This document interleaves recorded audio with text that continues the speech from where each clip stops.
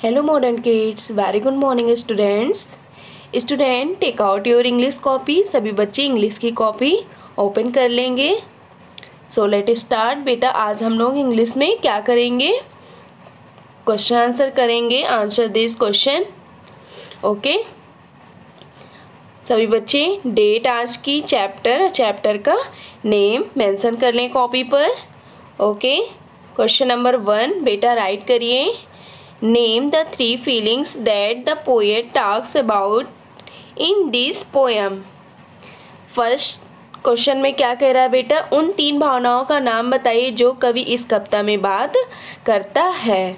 तो वो कौन कौन सी तीन भावनाएँ बेटा? The three feelings that the poet talks about are happy sad and angry means वो कौन सी कवि ने जिन तीन भावनाओं के बारे में बात की है, वे खुश हैं, उदास है और एक दुख की बात है। हैप्पी मीन्स क्या होता है बेटा? खुश सैड मीन्स उदास एंड एंग्री मीन्स दुख की बात।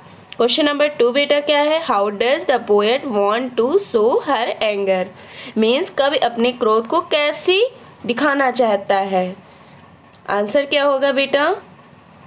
वह क्या करना चाहता है? मतलबी चेहरा मीन्स बताता है। Okay she wants to stomp and so shout and so a mean face कभी अपने वो स्टाम्प और सो टी करना चाहती और मतलबी चेहरा दिखाना चाहती है। क्वेश्चन नंबर थ्री क्या होगा बेटा? How does the poet tell everyone the reason for her sadness कभी अपने दुख का कारण हर एक को कैसे बताता है? क्वेश्चन नंबर थ्री में ये कह रहा है, कभी अपने दुख का कारण हर एक को कैसे बताता है? आंसर क्या होगा बेटा? The poet tells a people that she is sad by using words to say so means कवि लोगों को बताता है कि वह कैसे, कि वह ऐसा कहने के लिए शब्दों का उपयोग करके दुखी है okay the poet tells people that she she is sad by using words to say so कभी अपने कभी लोगों को बताता है कि वह ऐसे कहने के लिए शब्दों का उपयोग करके दुख, दुखी है। ओके बेटा? क्वेश्चन नंबर फोर में क्या है? What does the poet want to do when she is happy क्या कहता है? जब वह खुश होता है तो कभी क्या करना चाहता है? आंसर क्या होगा? When the poet is happy she wants to run go wild and act crazy all day long till the day is done. Means जब वह कभी खुश होता है तो वह क्या करता है? जब कभी वह खुश होता है तो जंगल जंगल मीन्स जंगली जाता है और पागल हो जाता है। क्वेश्चन नंबर फाइव में क्या है बेटा?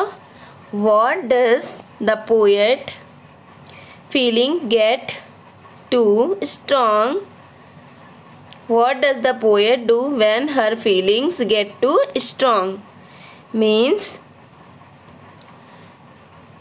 what does the poet जब कब अपनी भावनाओं को मज़बूत कर लेता है तो वह क्या करता है क्वेश्चन नंबर फाइव में है कि जब कभी अपनी भावनाओं को बहुत मज़बूत कर लेता है तो क्या करता है?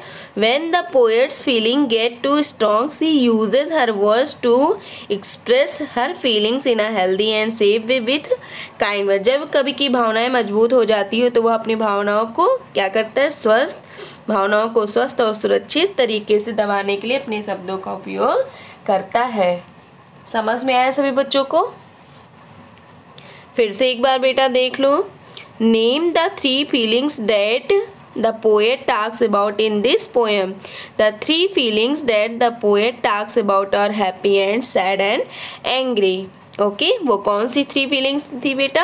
Happy sad and angry question number two में what does the poet want to show her anger she wants to stomp and shout and so a mean face. वह स्टॉप और सोटी करना चाहती है और मतलबी चेहरा दिखाना चाहती है।